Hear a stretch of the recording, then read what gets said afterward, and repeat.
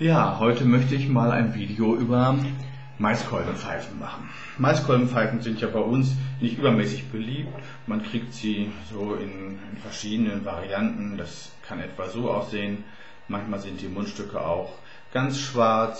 Das gibt es auch noch mit einem etwas markanteren Kopf, hier in dieser Art und Weise.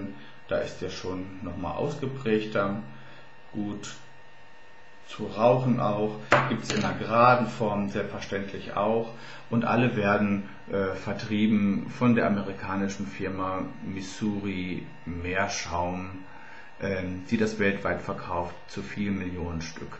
Übrigens lassen sich die Maiskolbenpfeifen auch ganz gut mit einem Filter versehen, wie man vielleicht hier so sieht. Da passt ein 6 mm Aktivkohlefilter oder ein Papierfilter der Größe 2 rein. Also kann man alles durchaus machen. Gibt es übrigens auch noch hier so als Mini-Version als Gästepfeife, wobei die sich nicht wirklich gut rauchen lassen.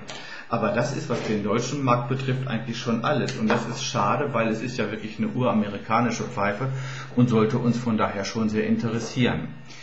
Produziert wird sie seit 1869 in äh, Missouri, in der kleinen Stadt Washington, hat der ähm, aus Holland stammende Hendrik äh, Tibber, nein Tibbe, ähm, diese Firma aufgebaut, die dann eben später Missouri Meerschaum hieß und ähm, äh, mit einer speziellen Züchtung von Mais die mit unserem normalen Gemüsemais verwandt ist, selbstverständlich, aber die Härte ist auch größer. Mit dieser Züchtung gelingt es dann eben zwei bis zum Teil fünf Pfeifen aus einem Maiskolben zu schneiden. Die werden mit einer speziellen Paste versehen, äh, die ein Herr Münch entwickelt hat und so kommen die bis heute dann auf den Markt.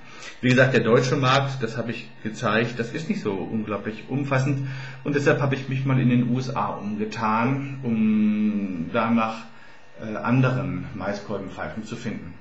Und bei Aristocop bin ich fündig geworden.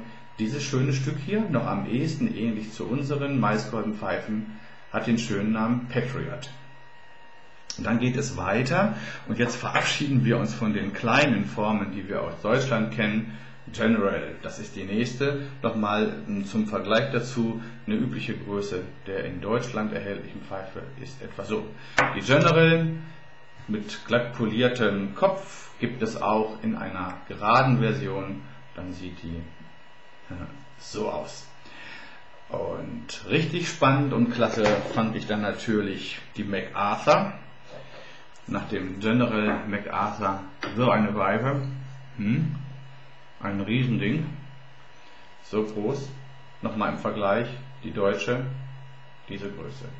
Hier in der geraden Ausführung nicht poliert, sondern richtig rau. Da ist der Maiskolben sozusagen noch zu äh, spüren und der Riese hat gerade mein Notebook voll. Gibt es auch in der glatten Ausführung und mit gebogenem Mundstück. Die MacArthur. Das sind Maiskolbenpfeifen, wie wir sie bei uns überhaupt nicht kennen. Und ich glaube auch, man kriegt sie bei uns nicht. Man muss es tatsächlich aus den USA bestellen. Und als letzte, jetzt sogar mit einem hochwertigen Mundstück, das ist eine Freehand, eine Freehand-Pfeife aus Maiskolben. Darauf muss man erstmal kommen. Ne? Oben die Struktur freigelassen, offen gelassen und wie gesagt, ein hochwertiges Mundstück, das ist bei den äh, Maiskolbenpfeifen ansonsten immer eine große Schwäche. Das sind schlechte Mundstücke in der Regel. Dieses hier ist schon mal ein etwas besseres. Ja, das also diese Sammlung von äh, Maiskolbenpfeifen. Wichtig ist einfach noch zu sagen, ich nehme nimm mal wieder eine deutsche zur Hand. Die kostet ja bei uns im Pfeifengeschäft so zwischen 10 und 12 Euros etwa. Also wichtig dazu zu sagen ist, dass sie viel besser sind als ihr Ruf. Die Maiskolbenpfeifen schmecken etwas süßlich, äh, zumindest am Anfang, das lässt später ein bisschen nach, aber mit einem passenden Tabak kann das eine sehr interessante Kombination auch sein. Die meisten Maiskolbenpfeifen lassen sich mit einem 6 mm Aktivkohlefilter bestücken oder mit einem äh, Papierfilter der Größe 2, sodass also auch da die Filterraucher keine Angst haben müssen. Und diese Dinge halten auch länger, als äh, man vermuten sollte. Also so nach 50, 60 Rauchgänge kann man problemlos mit einer äh, Maiskolbenpfeife rauchen. Dann ist das Material so langsam gesättigt und die Pfeife schmeckt dann einfach nicht mehr so gut und dann muss man sie wegschmeißen. Aber das ist ja bei dem geringen Anschaffungspreis auch kein Problem. Sicherlich keine Pfeifen für den eleganten äh, Opernball oder sowas, aber für alle Tage und für zwischendurch zu rauchen und als Pfeife, auf die man nicht besonders aufpassen muss, dafür ist sie einfach ganz hervorragend. Also Sie merken, ich halte durchaus große Stücke auf diese Pfeifen. Ich bin natürlich besonders äh, stolz hier auf meine amerikanischen Dinger. Das ist auch klar, weil sowas hat in Deutschland halt nicht jeder. Vermutlich eher wenige Leute nur.